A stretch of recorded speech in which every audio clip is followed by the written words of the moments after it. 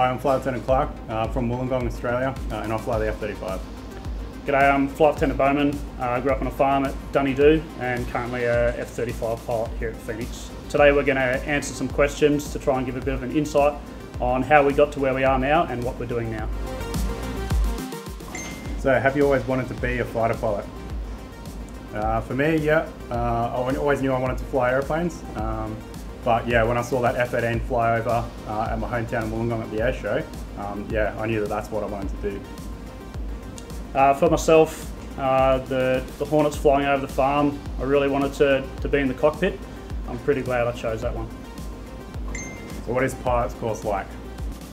Uh, so pilot's course, uh, ultimately it's a lot of fun. Um, so I reckon it's probably the best time uh, of my career uh, was being on pilot's course. Um, but at the same time, it's a lot of uh, hard work. So a lot of hours spent uh, after work, uh, sitting in your room studying, uh, preparing for each flight, uh, trying to visualize what you're going to do in your next flight. Um, so yeah, a lot of hard work, but ultimately I reckon it's probably the best fun that I've had in my career so far. Have you ever gone to war? Six months after I graduated Hornets course, I was uh, lucky enough to actually deploy and went to the Middle East. The first tour was about four months and then a bit over a year later I actually got to go back again for another five month tour. It's probably the most rewarding thing I've done in my career to actually put all the tools and skills that we get taught to being a fighter pilot and actually put it to use and try and make the world a better place.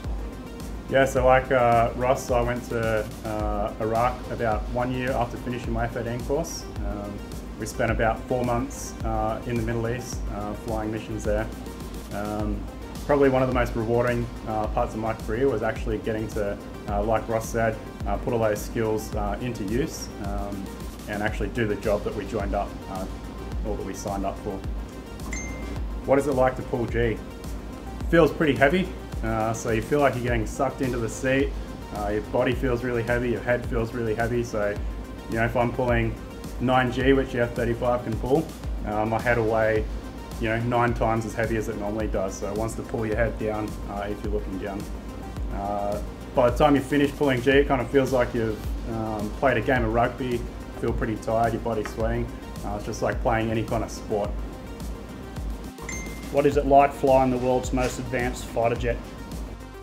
Uh, so I reckon it actually feels like you're flying a spaceship. So you're sitting back, uh, you've got a side stick, which is a bit different to flying the Hornet. Quite easy to fly. Um, pretty cool having a, a, helmet where you can look out and see all your symbology. Uh, nice big flat screen in front of you. Um, so I reckon it's pretty cool. What is it like being part of the team bringing the F-35 back to Australia?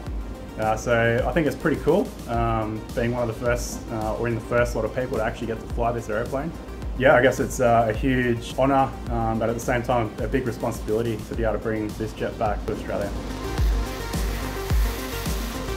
Thanks everyone, uh, and we'll see you later hopefully you see you in the skies in a couple of years.